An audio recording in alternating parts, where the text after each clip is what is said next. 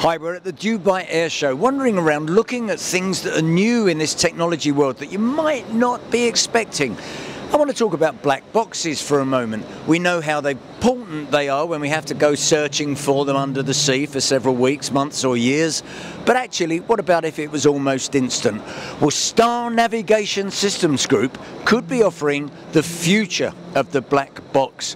Amir Bhatti, just tell us about Star Navigation and how we're going to get all that data that we have to search for straight back to the ground we connect to the aircraft interfaces, get the data out of uh, those interfaces into the star box, and we analyze the flight data to the best of uh, the abilities that we can.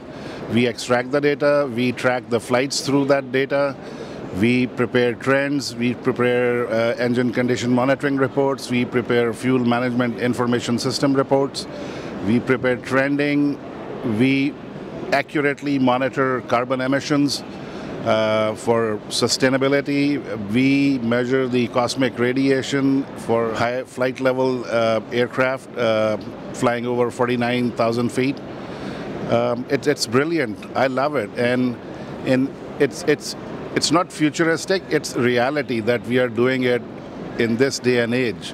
And and the best part is you don't have to find the black boxes in in in, in such conditions, God forbid, aircraft gets lost, you have all the data in your hands to find and analyze the data for investigative purposes. When you buy the system, what happens? You get a little box that goes in amongst the avionics?